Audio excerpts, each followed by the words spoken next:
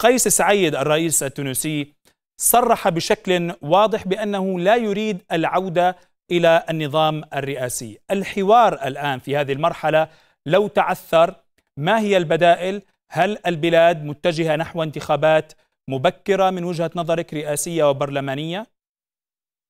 هو ممكن لكن الإشكال نعم. أن نفس المشكل ستؤدي إلى نفس النتائج بمعنى م.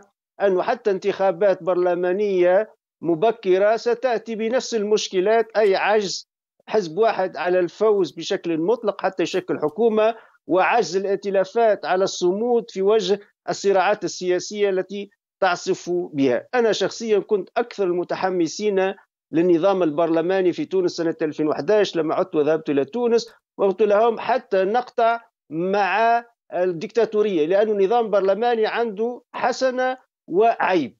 défaut qualité يعني حسنة وعيب نعم. حسنه هو إنه فعلا يقطع مع تفرد شخص معين بالسلطة لكن العيب الكبير هو عدم الاستقرار السياسي. وليس تونس فقط هي إيطاليا في الثمانينات كل شهرين ثلاثة تسقط حكومة. في بلجيكا ثلاث سنوات هم يعانون من تشكيل حكومة. م. كل نظام برلماني وديمقراطية عريقه وهو يعاني في تشكيل الحكومة. فرنسا مثلا أيضا كانت تعيش نفس المشكلة إلى أن جاء شارل ديغول وقام باستفتاء الشهير وأدخل فرنسا في الجمهورية الخامسة فأصبحت نظام رئاسي معدل. اذا النظام الرئاسي اليوم أصبح مسألة ضرورية في تونس لكن يجب أن يكون معدل. انت أنا شفت ترتيبكم للأنظمة السياسية في العالم وهذا صحيح لكن عندنا أيضا في العلوم السياسية والأنظمة السياسية المقارنة ما نسموه بالنظام الرئاسي المطلق والنظام البرلماني المطلق أو النظام البرلماني المعدل والنظام الرئاسي المعدل. نعم. المطلق مثلا أمريكا. لماذا نقول النظام الرئاسي الامريكي نظام رئاسي مطلق؟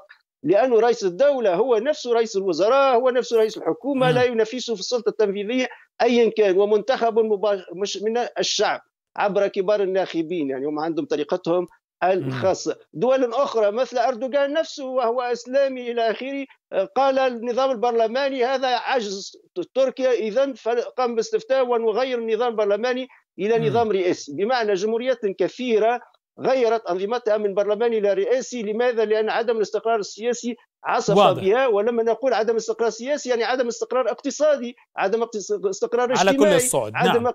عدم استقرار تنمية إلى آخره. إذا تونس فيما أسميه بأزمة بنيوية هيكلية وليست أزمة سياسية ظرفية عابرة. لأن نفس المشاكل بين قيس سعيد والبرلمان وحدثت بين نعم. باجي قيس سبسي الراحل والبرلمان وحدثت قبل حتى بين المرزوقي والبرلمان.